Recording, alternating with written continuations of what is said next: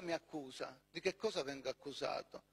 Di avere detto che il presidente Napolitano è il garante della trattativa Stato-mafia. Ecco, io, io questo lo sostengo e lo ripeto. Napolitano è il garante della trattativa Stato-mafia e per questo è stato rieletto ad un secondo mandato, proprio perché c'è in piedi il processo sulla trattativa e di conseguenza queste garanzie devono essere continuate a essere date. E non sono io a dire che Napolitano è il garante della trattativa Stato-mafia, è stato quel mancino, è stato quel mancino che si è presentato alla porta, al telefono del Presidente della Repubblica per chiedere protezione. E a chi si chiede protezione se non ad un garante? A chi doveva chiedere protezione? È questo che è stato fatto. E poi, e poi, e poi il Presidente Napoletano ha fatto quello che di più grave poteva fare.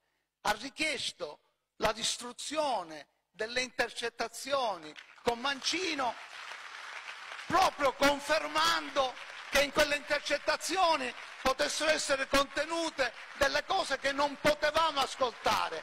Altrimenti mi chiedo perché avrebbe dovuto chiedere la distruzione di quelle intercettazioni se non aveva richiesto la stessa cosa negli altri casi in cui era stato già intercettato, come per, nel caso de, de, delle intercettazioni dell'Aquila con la protezione civile, eccetera. Qual era il motivo in più che in questo caso gli rendeva indispensabile richiederne la distruzione. E poi ha causato un vulnus gravissimo al prestigio della Presidenza della Repubblica. Io ritengo che il vero vilipendio alle istituzioni sia non delle persone che criticano un Presidente della Repubblica, ma sia il vero vilipendio sia di chi occupando una carica non la riesce ad occupare col dovuto rispetto per l'istituzione stessa. Perché nel momento in cui sono state distrutte quelle intercettazioni, chiunque potrà dire che quelle intercettazioni contengono qualsiasi cosa.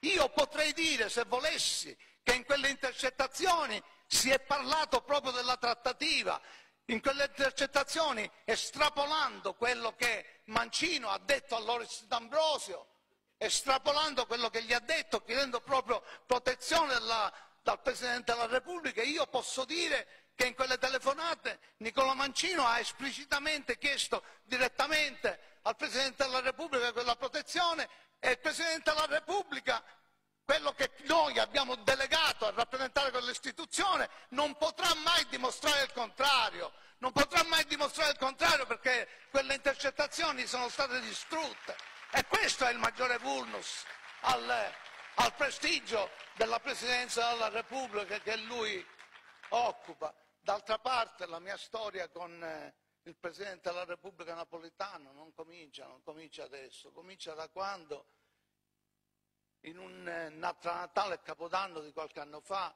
il eh, Presidente della Repubblica aveva avviato le pratiche per concedere la grazia a Bruno Contrada, un altro che di trattativa qualcosa sicuramente sa, e stava per tirarlo fuori dal carcere, questo nonostante Bruno Contrada non avesse neanche chiesto la grazia, che credo che sia, eh, il, le, eh, me l'insegnano i magistrati, lo possono confermare, credo che sia un, un, una cosa essenziale per poter concedere la grazia.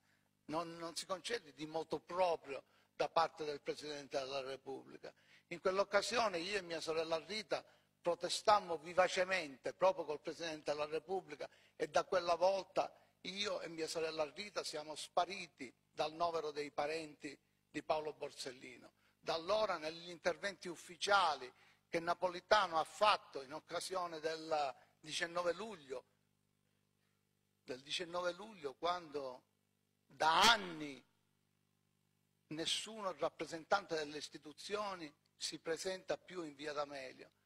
Il, Roberto Scarpenato parlava di ipocriti che siedono alle prime poltrone. Bene, per Paolo Borsellino non c'è quel pericolo. grazie alle mie agende rosse, grazie alle agende rosse che arrivano da tutta Italia, in via D'Amelio questo scempio, questo osceno scempio degli avvoltoi che vengono a girare sul luogo della strage e che intanto depositano ipocrite corone di fiori, non esiste più. Nessuna istituzione ha più avuto il coraggio di presentarsi in via D'Amelio.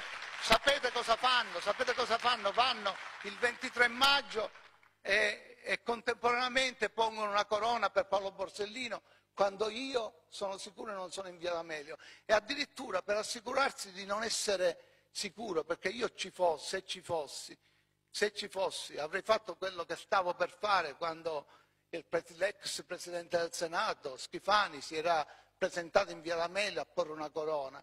Io stavo per bloccarlo e per dirgli questa corona andate a metterlo davanti alla tomba di Mangano, perché quello è il vostro eroe.